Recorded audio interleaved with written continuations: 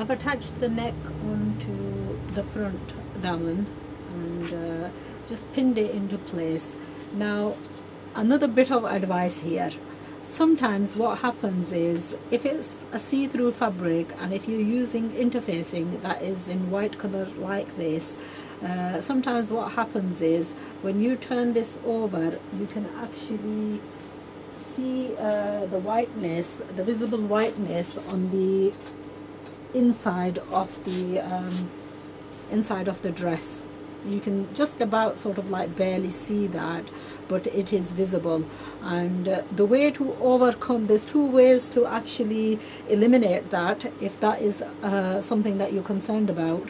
One the fabric that you leave to overlap uh, the edges you can actually generally what I normally do is I overlock these edges.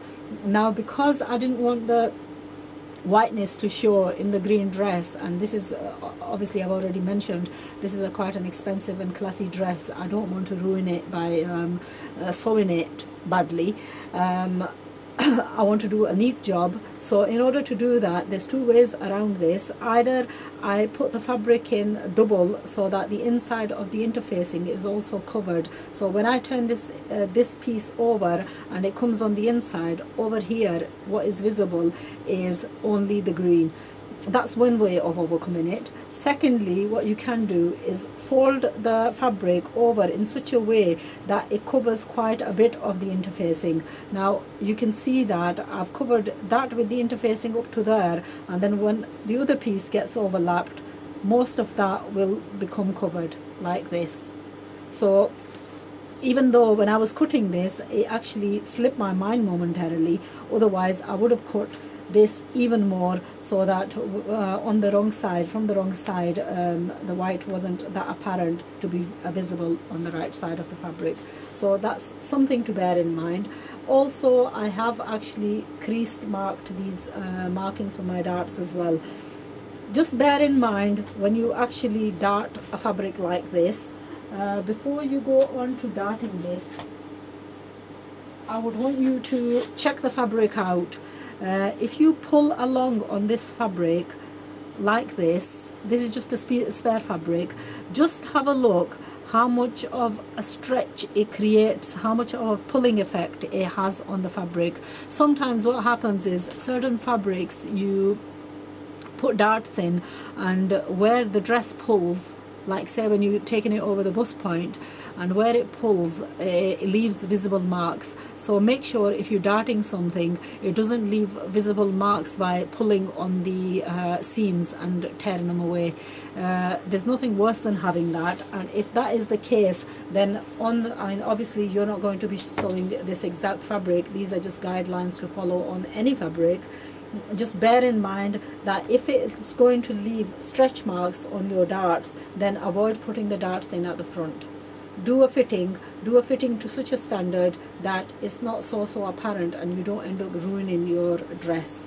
Also on uh, dresses like this it's an idea to have a zip in at the back uh, especially if you're slightly heavy busted. Um, so you know if you are heavy uh, top heavy then I would recommend placing a zip in the back. Uh, also to bear in mind when placing a zip in fabrics is uh, this is going to be my kameez. I'm going to attach this while I actually just talk along.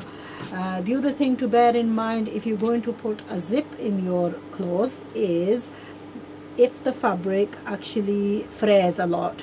And if you put a zip in a fabric which frays a lot, you may have a problem where it uh, frays away on the zip uh, when you attach it. So that's another thing to bear in mind when putting zips. There are certain fabrics that fray a lot and that uh, give way to the seams and whereby you could end up ruining your suit by placing a zip at the back and wherever it's had a pull you know it's torn away. Uh, idea for that is maybe place the zip on I'll just show you. Place a zip on the side maybe place a zip from here to here. It's not hard to place and that's uh, that's another option. So if you bust heavy busted and if you want to place a zip in that's another point where you can actually place a zip in. So these are just some of the areas to uh, some of the things to look out for when you actually uh, make uh, when you choose fabrics uh, delicate fabrics and just a couple of things to bear in mind on delicate fabrics. Now this is I cut the kameez if you remember earlier I cut the kameez and I cut exactly the same for the front and the back. Now that I've marked my um, my uh, neck out I've pinned my neck I'm going to cut the sleeves a little bit deeper at the front it makes it uncomfortable if the sleeves are uh, too uh, you know this is going to give me the extra room around the shoulder area. So I've just cut sort of an inch off uh, and give it me give me a more um, more better fit actually. So that's both the kameez um, both the necklines are now attached and I'm going to go on to stitching these. Once I've completed stitching and also ironed them pressed them into place and done some of the attachments then I will come back and show you how to I'm not going to actually take the camera to the machine today. Most of the work I'm going to explain on the table